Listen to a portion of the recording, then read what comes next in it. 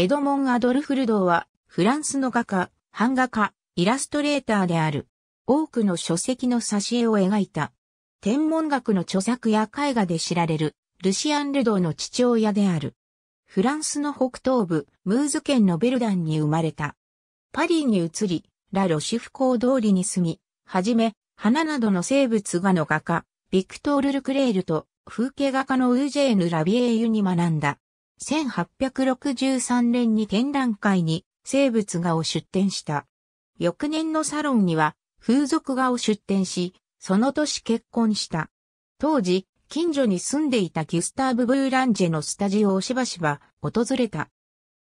この頃は、漁の場面や漁師などを描いた。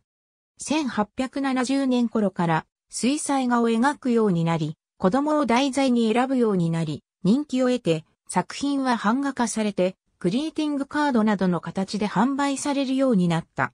1873年頃、セーヌマリティーム県のコードベックレールに移り、ブールレロズの風景を描いた。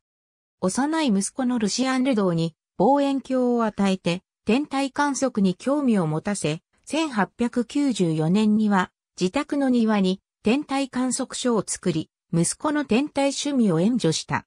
ルシアン・ルドーは天文に関する著作や絵画を仕事とすることになった。ジョルジュ・サンドの魔の沼など多くの書籍の挿絵も描いた。